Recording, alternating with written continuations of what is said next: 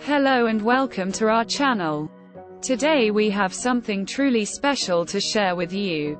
The CREALITY K1 Max and K1 Speedy 3D printers. These 3D printers are revolutionizing the industry with their incredible speed, advanced AI features, and large printing size.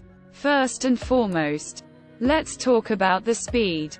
The K1 Max can reach an impressive 600 mm per second printing speed, making it 12 times faster than regular 3D printers. This means you can get your projects done in a fraction of the time without sacrificing quality. Not only does this save you time, but it also saves energy, making it more eco-friendly. But speed is just the beginning. The K1 Max is also equipped with AI LiDAR and AI camera technology. This means that the printer takes care of the first layer with precision, scans for any errors, and alerts you in real time if something goes wrong. This level of automation and monitoring gives you peace of mind and allows you to focus on your creative process.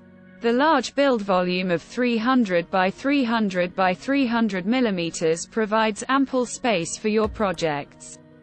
And the model cooling by dual fans ensures a smooth surface without any stringing or warping. The quick heating heatbed also ensures uniform and rapid heating reaching 60 in only 90 seconds. In addition to all of these features, the K1 Max is incredibly user-friendly, with dual hands-free auto-leveling and self-testing capabilities. This means that you can proceed confidently with your prints without any hiccups. Overall, the Creality K1 Max and K1 Speedy 3D printers are the future of 3D printing. With their advanced technology, high-speed capabilities, and user-friendly design, they are a must-have for anyone serious about 3D printing.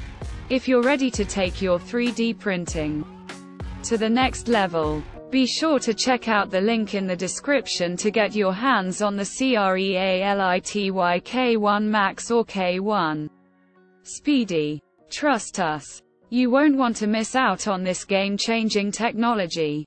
Thank you for watching. And be sure to subscribe to our channel for more exciting reviews and updates.